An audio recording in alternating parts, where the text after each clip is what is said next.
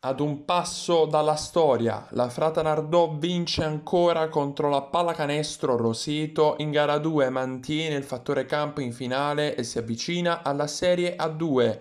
Granata semplicemente encomiabili nella giornata di ieri, in una sfida totalmente diversa rispetto al primo duello vinto in maniera inequivocabile dalla truppa di Battistini. Gli abruzzesi infatti preparano bene la partita e riescono ad andare negli spogliatoi sul 27-39 grazie ad un parziale Monster di 3-18. Al rientro dagli spogliatoi il Toro arriva sul parquet con maggiore determinazione, trascinato dai senatori Stella e Bielic, i cui punti saranno decisivi per il recupero nell'ultimo quarto. A nulla servono i 21 punti di Ruggero, che sbaglia la tripla nel finale. Nardò supera per 66-64 Roseto e vola sul 2-0. Prossimo impegno fissato a venerdì per il sodalizio della famiglia Durante, il sogno si avvicina.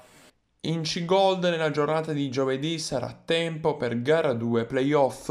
La Virtus Molfetta avrà la possibilità di chiudere i giochi dopo il successo esterno di Mola.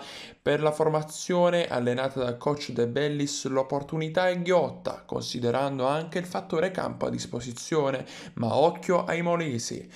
Non poteva che esserci chiusura migliore dunque per il massimo livello regionale pugliese, in attesa dello spareggio con la formazione campana perdente ai playoff e di una possibile ulteriore fase interregionale.